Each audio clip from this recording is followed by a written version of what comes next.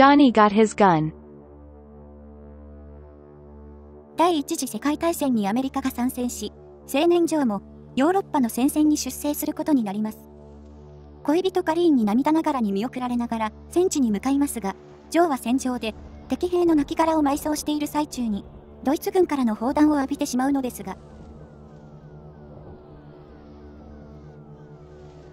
予想だにしない形で帰還することになったジョーは、ベッドに横たわり、混濁する意識の中、自分がどのような状態になっているのか自覚し始めます。両手が、ない。両足が、ない。目が、鼻が、耳が、口が、ない。ジョーは戦地で爆撃に遭い、下顎が吹き飛び、両手両足を切断され、円髄と正規だけが助かり、心臓は動いている。生命負傷重傷兵第407号として、かろうじて生かされている肉の塊となっていたのでした。視覚、聴覚、嗅覚、そして言葉を失ったジョーは、取り囲む医師や看護師たちに、ジョーがジョーであることを伝える術が全くありませんでした。わずかに動く首を使って必死に訴えようとしても、肉体的痙攣と受け止められ、鎮静剤を打たれてしまう。意識が遠のく中、これが真実だという悪夢を見ている。そんな思いを巡らせながら、ジョーは家族や恋人との思い出を蘇らせ、幻想の中で彼らと再会します。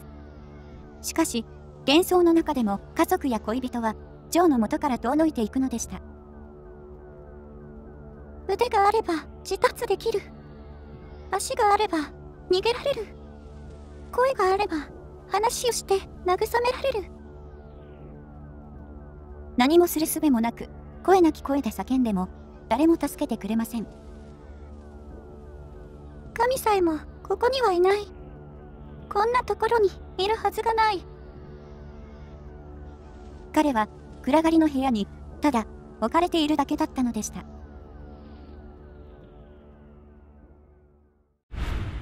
Hamburger Hill 1969年激戦が続くベトナム戦争。アメリカ軍の空挺師団は南ベトナムにある丘937高地へ進行を開始します。他の頂を目指す中で、まだ経験の浅いアメリカ兵を待ち受けていたのは、装備も連度も充実した北ベトナム正規軍だったのでした。この丘は、俺たちをミンチにしようとしている。10日間の戦闘で死傷率70%というベトナム戦争屈指の激戦地となった937高地。兵士が爆風で吹き飛ばされ、ミンチ肉のようになったことから、ハンバーガーヒルと呼ばれるようになりました。最前線の14人のアメリカ兵士たちの視点で描かれ、前半では兵士たちの日常を、そして丘を登るにつれ、次第に凄惨な光景が広がっていきます。故郷からの頼りが唯一の心の支えであったのに、兵士の一人に届いた恋人からの手紙には、これを最後に、もう手紙は書きません。戦争に賛同していることだと、周りから非難されたから。アメリカ本国では反戦ムードが高まり、兵士たちがここにいる大義が霞んできます。ある兵士は一旦帰国したものの、妻が男を連れ込み、町の人たちの視線も冷ややかであったため、再びベトナムへ戻ってきたという。ここが唯一の居場所なのだと言わんばかりに、それでも兵士たちはハンバーガーヒルに登り、次々とミンチになってしまう。現場と司令部との意思疎通がうまくいかず、空挺ヘリが味方の兵士を撃ち抜いていく。腹渡が飛び出し、首が飛び、中には片腕がなくなっていることに気づかず、必死に司令部と交信し続ける兵士の姿も。豪雨の中で急斜面を登ろうとするも、スルスルとなだれ落ちていき、敵の餌食となっていく。キャストにビッグネームはおらず、まさに無名の戦士たちが無残にも散っていくのでした。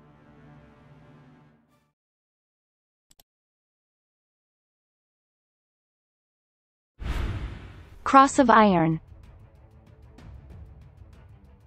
第二次世界大戦下、ソ連軍の猛攻によって絶望的に追い詰められていくドイツ軍。部下からの信頼の厚いシュタイナー伍長は、鉄十字勲章を手に入れることしか興味のない無能な指揮官のシュトランスキー大尉と険悪な関係になっていました。そんな中、ソ連軍の大攻勢が始まったのでした。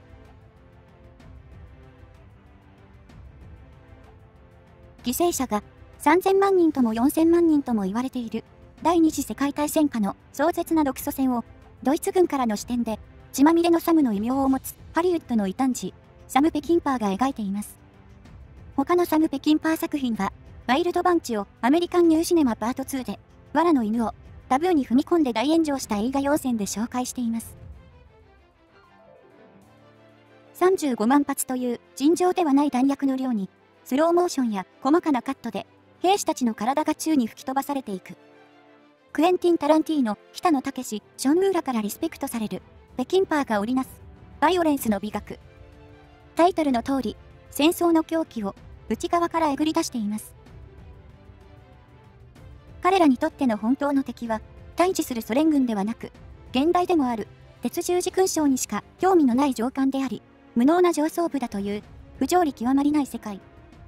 子供も容赦なく撃たれ、味方同士が潰し合う。バイオレンス描写に注目が集まりがちですが、戦争がこれほどまでに愚かしいものだと痛感させられる作品です。一説によると、ベトナム戦争に触れることがタブーだった終結して間もない1970年代中盤において、第二次世界大戦の東部戦線を舞台に借り、アメリカ人にドイツ兵を演じさせることで、ベトナム戦争の真実に迫ろうとした最初の映画だったとも言われています。Die Brücke 第二次世界大戦末期。戦況が悪化し、敗戦濃厚のナチスドイツは、本土防衛のため、幼い少年も徴兵されるようになっていました。そしてある村で、まだ16歳の少年7人のもとに、召集令状が届きます。戦争の悲惨さや残酷さを知らない無垢な少年たちは、胸を高鳴らせます。経験の浅い彼らは、重要度の低い村の外れの橋を防衛するよう命じられます。しかし、まさにその橋にアメリカ軍が迫ってきていたのでした。まだ幼い少年が銃を取り、戦うことになってしまい、壮絶な運命をたどってしまう、軍の記録にも残らなかった戦争の不条理を描いた反戦映画。戦争映画では、悪の権下として描かれるナチスドイツですが、この映画ではそのナチスドイツ側の少年たちの視点で描かれているのが特徴です。前半は少年たちの恋や友情、それぞれ抱える家庭問題などみずみずしく描かれていますが、招集がかかり入隊してしまうと一気にトーンが変わってしまいます。たった一日訓練しただけで深夜に叩き起こされ出動させられる少年たち。学校の教師からの嘆願で危険度の低い後方の橋を防衛することになりましたが、たくさんの負傷者を乗せた自軍のトラックが橋を配送してきます。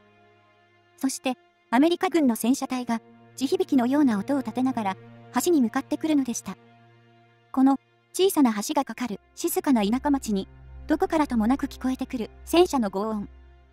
この光景はドイツ軍の戦車隊を待ち構えるプライベート・ライアンの終盤の戦闘シーンにそっくりです。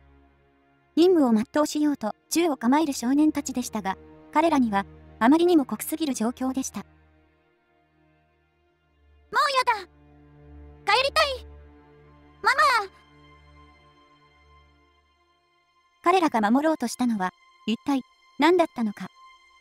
戦争の不勝利さをまざまざと見せつけられるのでした。